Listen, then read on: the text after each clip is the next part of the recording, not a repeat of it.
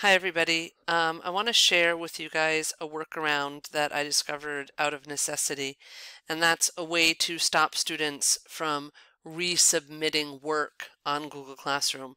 Generally, I love the idea of being able to resubmit work.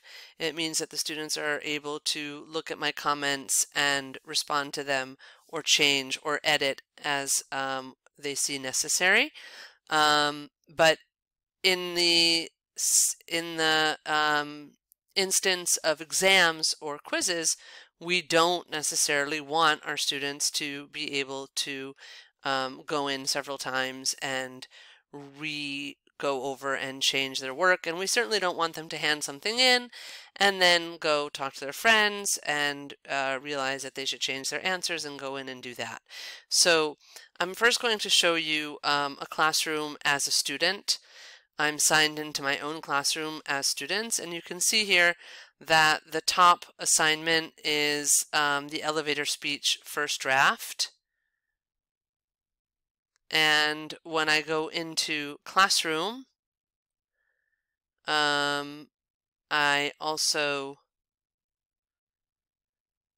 can see here elevator speech first draft. And if I go into it um, I can view the assignment. This is all as a student and I can hand it in.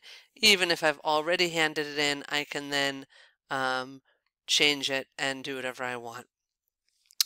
So now let's go to the same classroom as a teacher. Um, so now I'm a teacher. Here I am. Um, I am going to go in as a teacher and I am going to go to that same um, assignment, elevator speech first draft in Young Diplomats 5. And I am going to now edit that in a way so that the students can no longer see the assignment. Now, it doesn't let me save it for some reason when I delete everybody. So I'm only going to delete for now um, myself. I haven't found a way to work around this yet, but I'm only going to delete myself for now. Or the other thing that you could do is put yourself in the classroom and only undelete everyone but you. But okay, so now I'm making it so that this person, that's me as a student, so that this person cannot see the assignment anymore. I'm going to save that.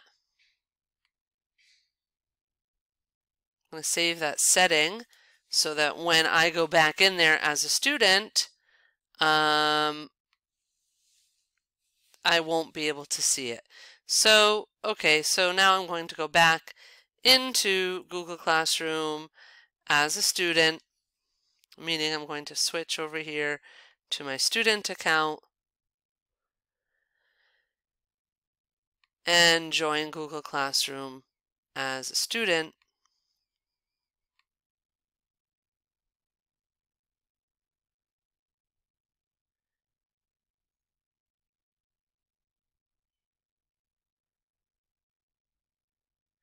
And go to um, Young Diplomats where we had that elevator speech as the top one and as you can see it is no longer available at all to me. In fact the first thing that comes up is the Nearpod and also on classwork I can no longer see the elevator speech as an option which means essentially that I cannot go back in and redo it.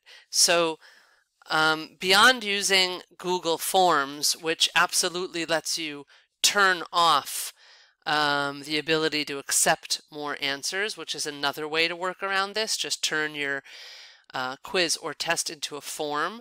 But if you want an assignment that you, um, let's say a written assignment or something like that, that you don't want them to be able to uh, edit anymore, that's the best way that I found to do it.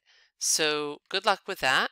Um, hopefully you found that helpful and um, good luck using Google Classroom.